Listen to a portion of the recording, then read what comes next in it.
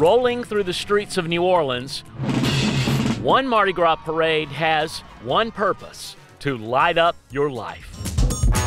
No wonder Endymion is one of Carnival's super krewes. And when you're a super krewe, you're super popular with people who love parades.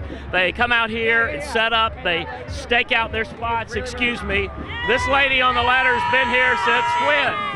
Since last night. Oh, when did you start planning? About this a spot? week ago.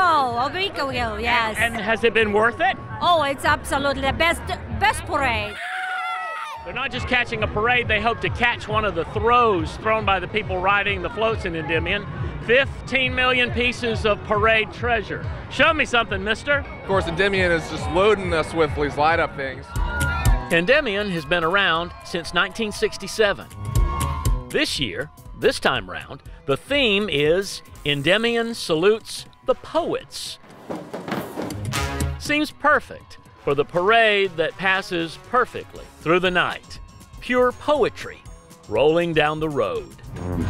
Bill Wood, WGNO News.